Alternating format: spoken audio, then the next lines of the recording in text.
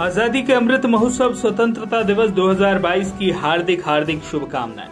निवेदक, मध्य प्रदेश पूर्व क्षेत्र विद्युत वितरण कंपनी लिमिटेड। विद्युत देयक समस्त ब्लॉक चौरई, पिछुआ, अधिकारी एवं स्टाफ।